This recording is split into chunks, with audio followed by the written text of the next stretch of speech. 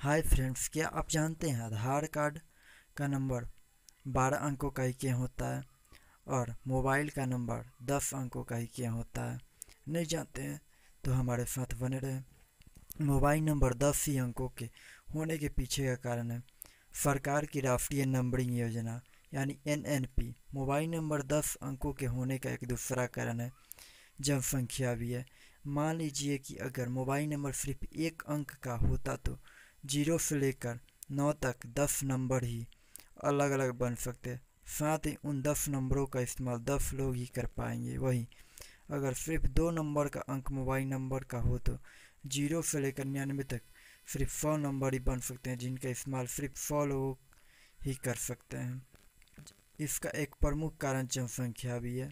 देश में इस समय एक सौ तीस करोड़ लोगों की आबादी है। इसके मुताबिक अगर नौ नंबर का मोबाइल नंबर हो तो भविष्य में सभी लोगों को मोबाइल नंबर नहीं दिया जा सकता। वही अगर दस अंकों का मोबाइल नंबर बनता है तो कैलकुलेशन के मुताबिक एक हज़ार करोड़ लोग अलग अलग नंबर बनाए जा सकते हैं।